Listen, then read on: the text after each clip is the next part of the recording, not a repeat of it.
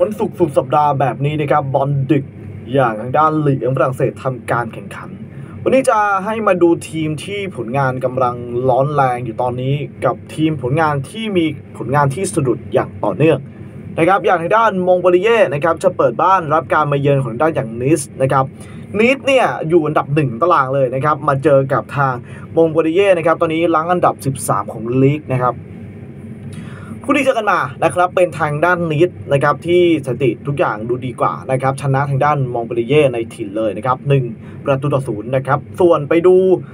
เรื่องของกำลังหน่อยครับ ในคืนนี้ทางมองเปรีเย่จะใช้ใครนะครับ แน่นอนแหละวันนี้ผู้เล่นของเขานะครับอยู่กันครบนะครับ ไม่ว่าจะเป็นอย่างอักรออดัมนะครับโมซา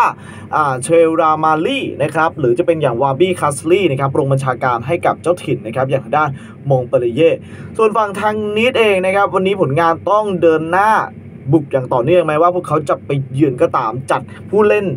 หนักๆเลยครับเตเรมมอฟฟี่นะครับเดวรามีบอก้านะครับลงบัญชาการให้กับทางด้านนิสนะครับวันนี้สื่อมองมาทางนิสนะครับ เปิดมาไม่ได้เยอะไม่ได้น้อยแต่เพื่อ การันตีการชนะอย่างต่อเนื่องของนิสนะครับเปิดมาที่ 0.25 นะครับบังคับให้นิส1ประตูหรือ 2 ประตูก็เพียงพอแล้ว ผมมองว่าเป็นไปได้นะครับ เพราะว่าเป็นเกณฑ์นอกบ้านของนิดด้วย บวกกับทางมองเปริเย่เนี่ยเพึ่งพ่ายปารีสมานะครับเสียขวัญพอสมควรเกมนี้